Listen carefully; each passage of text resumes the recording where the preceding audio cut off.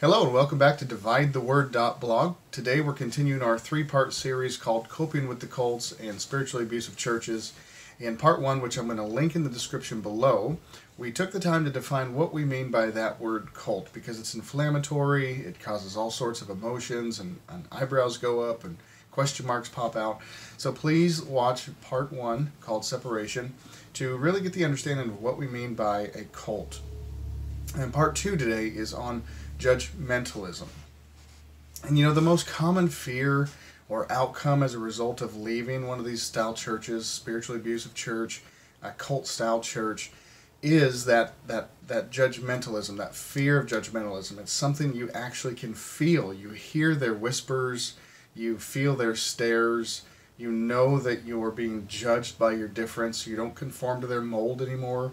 You don't go to church when they say you have to be at church. Maybe you're breaking some of the dress standards if that style church had dress standards. There's all sorts of ways that judgmentalism comes in. The saddest part to me that I've experienced is when it's done by little kids.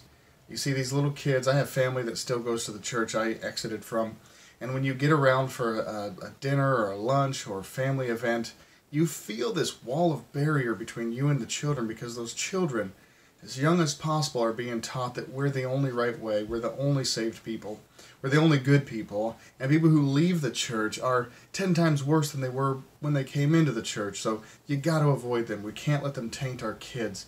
And then when you get around those kids, you actually feel that wall. And it's so, so very sad. Uh, one of the most glaring and obvious signs of a cult style church is that they require your entire social circle to revolve around them your job, your family, your friends, uh, your entertainment, everything you do as a social creature must revolve around the organization and stay within the organization.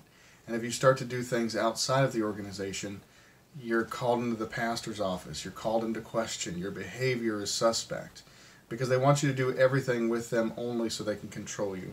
Fellowship with outsiders is forbidden. Friendship with the world, they say, is enmity with God the Father, and yet they've perverted that word world. We are supposed to be friends to the world, a light to the world, a light that is set upon a hill that should not be hidden. And yet, cult style organizations want to keep you wrapped up into this tiny little box. I told my uh, wife many years ago, I said, if things keep going the way they're going in our church, we're going to be in a commune soon. And that's that's hard to say, but that is what a cult style church will bring you to. So so in part 2 of coping with the cults, judgmentalism, I really quickly want to define what is judgmentalism. We're human beings. Have human nature. We all have the nature to be judgmental at points. But in the vein of cults and spiritually abusive churches, judgmentalism is an is an absolutely necessary result of a superiority attitude, an attitude that we are the only organization that's saved. And every cult style organization does this. And I don't mean to offend anybody if I name things, uh, but if you talk to Mormons, Jehovah's Witnesses, uh, many sects of standard Christianity, I came out of an apostolic Pentecostal uh, under the umbrella of the United Pentecostal Church International, and they all think the same thing. We got the modern revelation we're now the saved people. People who do not do what we do or believe what we believe, follow the pattern that we set, are lost to hell. And so the natural result of that is you look at everybody else and you realize if they're not like me, they're not saved. And if they're not doing what I do, they're suspect. They're to be avoided. We can try to get them into our way, but if they don't come our way, we push them back into the seas of the world. And that is judgmentalism. That is to say that if somebody doesn't dress just like me, then they're lost. And I shouldn't be their friend. And if I am their friend, it is only for the purpose of winning them to my church way. And if they don't come my way again, we cut the relationship off and we move somewhere else.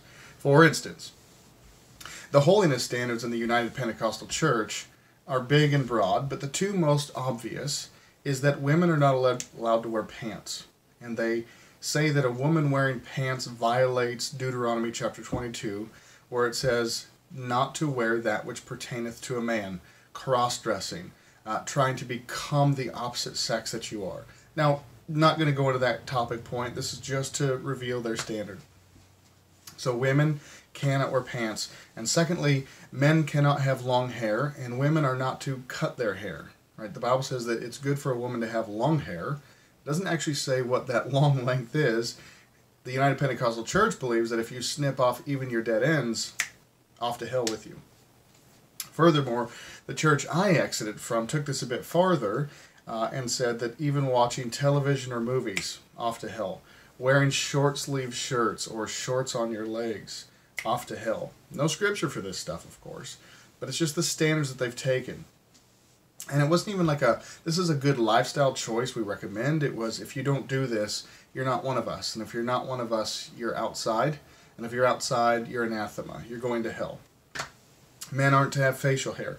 Women need to wear pantyhose if they're doing anything outside or in social settings. Uh, and they use Hebrews 12:14 to define this, which says, "Follow peace with all men and holiness, without which no man shall see the Lord." Now, holiness is inward, but they define it as those dress standards, and then they can use that as a judgmental platform to say, "Look, they're in pants. That woman's in pants. She's got a necklace on. She's wearing makeup. She's cut her hair. She's not one of us. She's not a Christian. She might think she's a Christian, but she's not a Christian." The most common phrase I heard in my church when they condemned other churches, and they would call out the Baptists and the Lutherans and the whatever, and they would say they're sincere, but they're sincerely wrong, and they're wrong and going to a devil's hell. And so, with this mentality, you can now judge other people based on their lifestyle choices, the kind of clothes they wear, the kind of shoes they wear, the things they watch, the things they listen to. And one person in my old church saw a woman standing on the side of the road wearing pants, and this person had come to our church before, and she instantly judged that person's uh, spiritual status. Look, she said, there she is wearing her, her pants like a man. She's lost. She's not going to make it. Very, very sad. Another example uh, of this is uh, the bishop of my old church rolled up to a house I was at in my work, my line of business. I was with another business partner. We were standing in front of a house. The bishop of my church pulls up in his truck, looks at the man I'm talking to, uh, comments to him, and I wave and say hi, and he completely ignored me. He had a 30 second conversation with the man I'm with, said goodbye. I waved, said goodbye. Again, wouldn't even look at me. Drove off. That was the end of it. That judgmentalism is a result of me coming outside of their social circle, right? So that is what judgmentalism is. Another man decided to leave uh, the church, and the pastor literally told him, You know what? We'll see whose kids are better off in 30 years. That'll tell us who's right and wrong in this decision. So, so sad. This is why judgmentalism is a stumbling block, which is what we're not supposed to do. Who in the world is going to come back to that church, or who could have their faith crushed and turn from God due to that judgmentalism? We are not supposed to put stumbling blocks in front of each other. Rather, we're supposed to use the fruit of the Spirit, which is love, joy, peace, long suffering, gentleness, goodness, faith, meekness, and temperance. The Bible says, without which there is no law. Against such there is no law, excuse me. So so what do we do to deal with it? This is coping with the cults and judgmentalism. How do we deal with it? Because it's real, it's raw, and it hurts. Number one, Learn in your heart that God is the only one who can and will and has the right to judge you. Jesus is the judge of the quick and the dead. And if you look at the model of Jesus Christ through Matthew, Mark, Luke, and John into the book of Acts, there is only one set of people that he ever criticized and judged. And that was those legalists, Pharisees, and the Sadducees. If you've got those kind of people judging you, brush it off because those are the kind of people that are God judged and criticized. If other flawed human beings are judging you, they're doing it to their own peril. And so we have to get it in our heart that to, to brush it off, like water off a duck's back. Just let it go. Don't don't let it spring up in you and, and be a root of bitterness. Just let it go. God commanded his love toward us in that while we were yet sinners, Christ died for us. Romans 5 8. Just like that little woman, uh, that adulteress in John chapter 8, it's a story I go back to all the time. They bring this woman caught in adultery. Could have been that hour, that day, that week, that month. We don't know, but it was real raw. And they brought this woman to Jesus and said, Jesus, what are you going to do about this? This woman was taken in adultery. And they said, You know, Jesus, that the law says we're to pick up stones and, and kill her. And so Jesus said, How about whatever one of you has never sinned, you go ahead and cast the first stone. And they all realized we're all sinners. We're all unholy and impure, so we can't cast a stone at this woman. And after they left, Jesus asked her, Woman, where are all these men who condemned you? And she said, They're gone, Lord. No man condemns me. And, and Jesus Christ said, Neither do I condemn thee. Jesus Christ is not here to condemn you. He came to bring love and joy. And yes, God is a God of grace and justice, but His grace came to take the place of the, ju- the legal requirement for justice. And so we've got to stop allowing other men, women, to judge us. We are going to be judged by the Almighty God.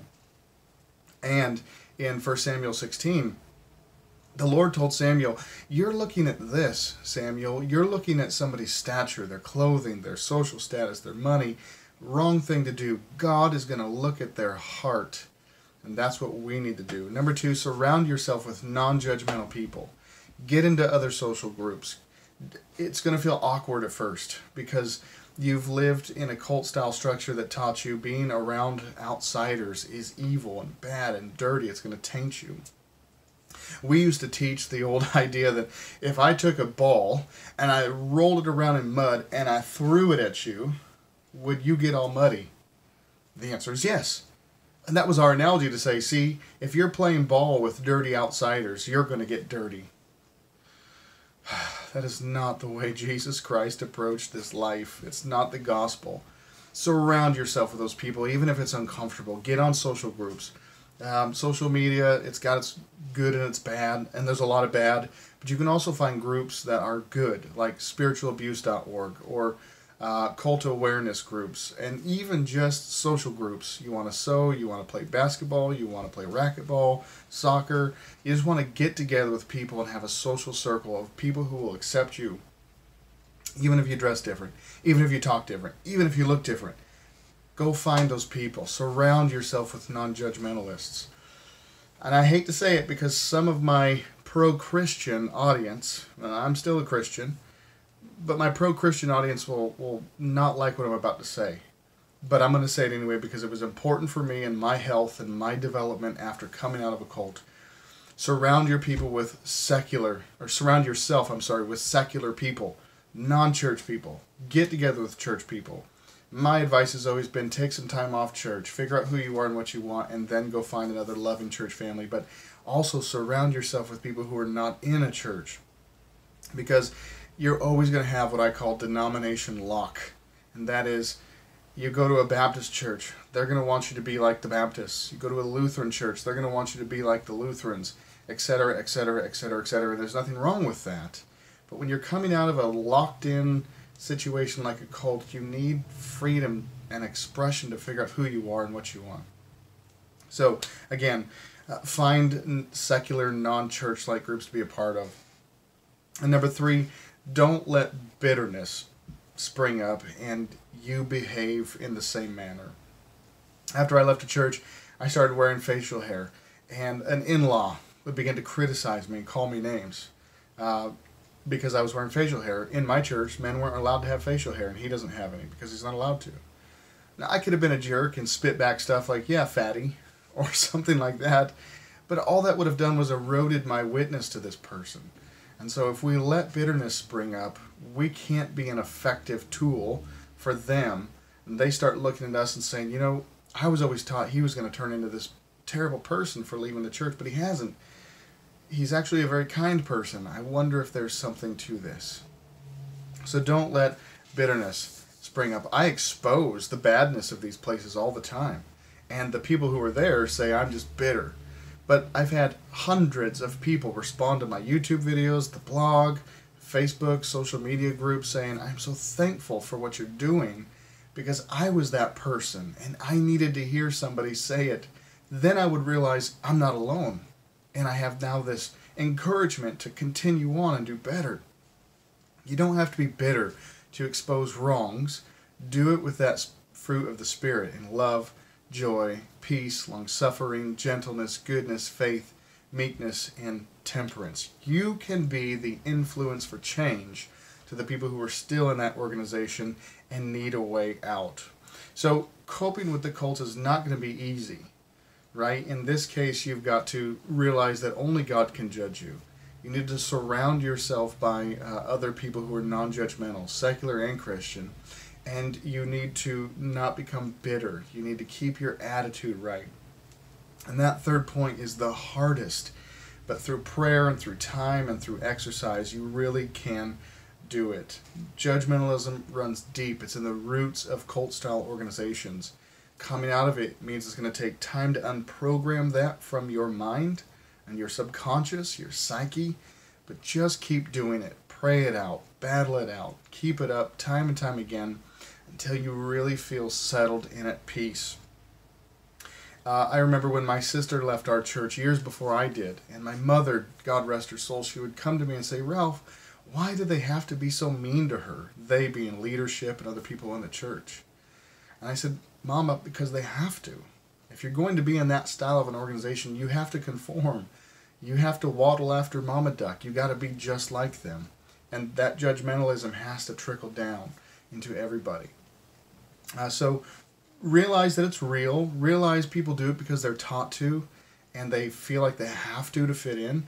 Don't let it be a root of bitterness. Don't hate for it. Just realize that you can be an agent of change to bring them out by you living the right way. Most importantly, you can slowly etch away at the scars that are in your own soul over this through time, uh, through realizing that everybody outside of the church is not evil and wicked. Get new friends, meet new people, and enjoy a life that is filled with those fruits of the Spirit uh, because you need it if you're going to live a healthy life in your heart, in your soul, your mind, and if you're going to be an influence to other people.